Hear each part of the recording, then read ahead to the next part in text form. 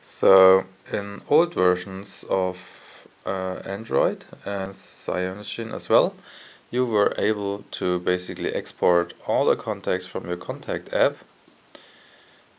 But in some versions it says maximum 500 contacts, which is pretty annoying. So what can you do? Um, Third-party apps again you probably know F-Droid.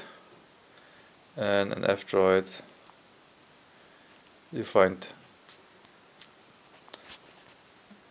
export contacts app. And when you install it and start it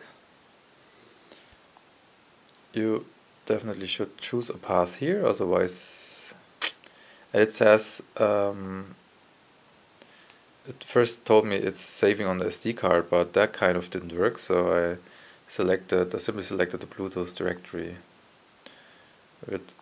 which worked actually, and then I go next. Yep. Yep. And now it does actually the job that uh, the phone book is supposed to do the phone book app, like in some CyanogenMod Android versions, actually this works pretty out of the box, but not in this one. Nice. So now you could actually use something like an FTP um, app.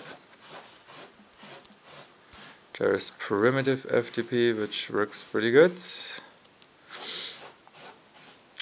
Um, and then you can access your phone via Wi-Fi and transfer back up your exported address book to your laptop.